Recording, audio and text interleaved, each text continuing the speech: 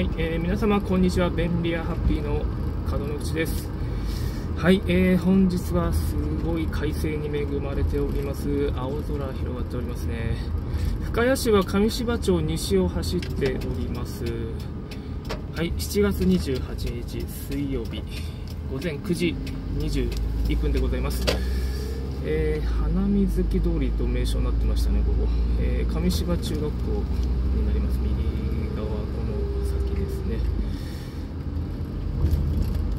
私が3年間通っておりました。上芝中学校です。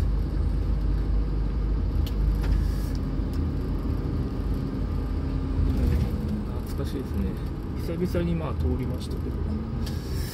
ああ今のこちら東門正門な正門になるんでしたっけ？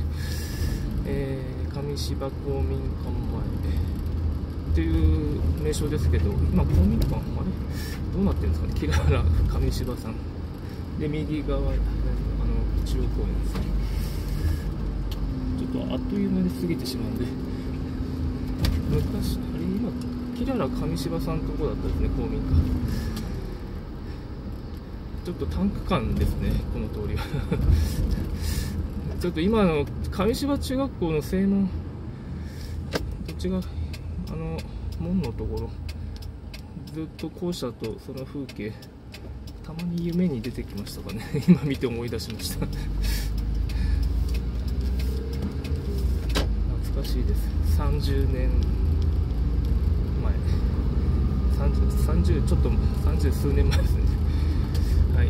えー、そして、えー、上芝西小学校があります。まだここは上芝町西ですね。えー、3年生、2年生ぐらいまで、小学校2年生ぐらいまで、ここ、上芝西小でしたね、でその3年生になった時に、上芝東小ができたんで、そっちに私は、えー、移りました、上芝西小学校です、まあ、僕もたまに夢の中出てきますけど。まあな、今日はちょっとあの動画の方が撮れるかどうかで怪しかったんで、ちょっと撮れる時に撮っておきました。はい、上芝西小学校前でございます。今日はあのだいぶ気温の方ですね、暑くなりそうです。現在、えー、深谷市も30度になりました。今日35度ぐらいいきますかね。えー、もう一つ、もう一個いきますか、そうしました。まあ、右行くと日赤なんですけど、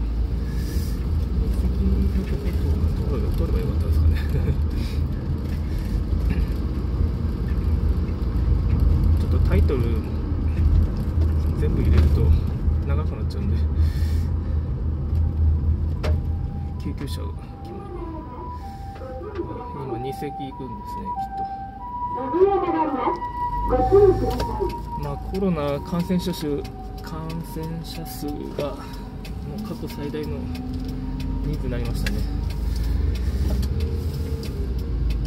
まあ、オリンピックどんどん金メ日本選手も金メダル取ってますけどで昨日菅首相の方は、まあ、あの問題はない、まあ、開催中止してても中止しないでも、まあ、問題はないとか、まあ、大丈夫とは言ってますけどことでいいのかなって思いますね。笑い本当笑い事じゃなくてその発言にちょっともう笑っちゃいますよね。もう不謹慎ですけど。もう聞いて呆れてしまうっていうか。あんまりそういうこと言いたくはないんですけど。あちょっとこれまっすぐ行きます。あのー、アンダーパスできるところですね。えー、ちょっと踏切以前あここそのえー、て言うんでしょう。えー、まあ、ここも懐かしいじゃないでしょうかね、まあ、久々にご覧になられる方は。アンダーパス、もうずっと昔からですよねあの、そういう計画であったんですけど、ようやく動き始めて。アンダーパスです。サルスベリがすごいいっぱいですね。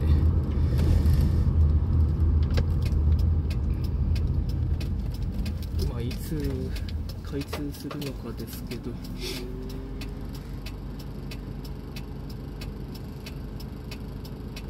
あ、ここはあんまり近場でごご依頼がない限りは通らないですね、まあ、昔はよく通ってましたけど。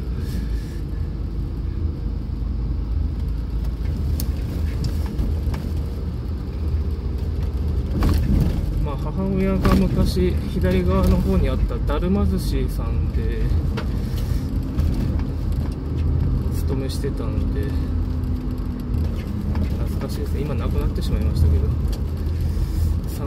そこのだいぶお世話になりました。3姉妹だったですね。今どうされてるんだか、まあ、私の同級生もいましたけどでお姉さんと妹さん。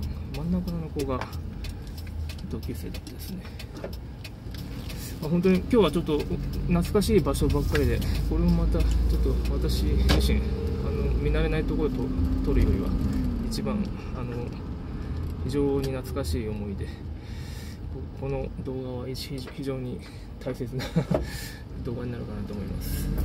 で2021年になりました。7月28日現在の上芝町西メインでのですねご案内でございました。はい、えー、高崎線踏切を渡りまして、えー、寿町ですね。この辺も昔はよく通ってましたね駅の方行くには。今全然ちょっと区画整理で道路変わってしまいましたけれども。でこの信号左行くとあの駅の方が出るもう一個向こうですね。ここがちょっと変わっちゃったんですよね。ここ駅行かないことはないんですけど。えー、ということでこの辺でこの左行くとベルクさんとあの駅の方の駅前通りのところでございます。